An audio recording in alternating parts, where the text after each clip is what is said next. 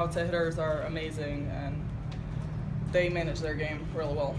What do you have to do differently against them than what happened in the first two times you played them? I feel like we need to manage our errors and stay consistent throughout the game.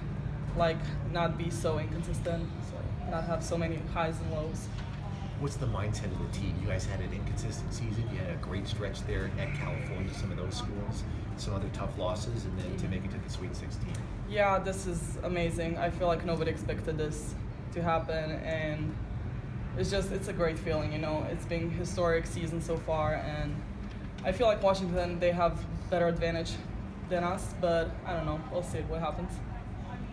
What do you think was the difference for you guys to pull it out against Michigan State?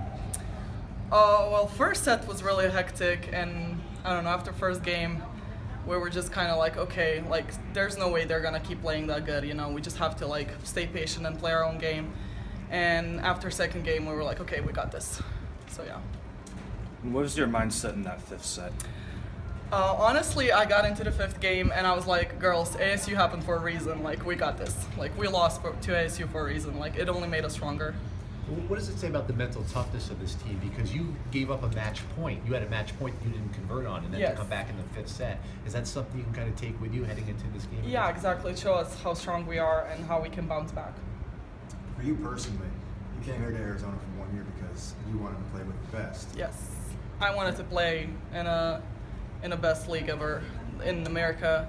I wanted to go to NCAA. I wanted to go to Sweet, Sweet, Sweet 16. So that's what I accomplished.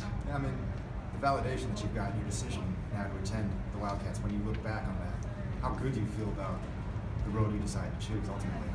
I mean, I feel like I got lucky. Like, what are the odds that this all would happen to me? You know, like I could choose any school in America, and I chose it. I chose Arizona, and I accomplished all of my goals that I wanted to accomplish. So it's amazing. It's a great feeling.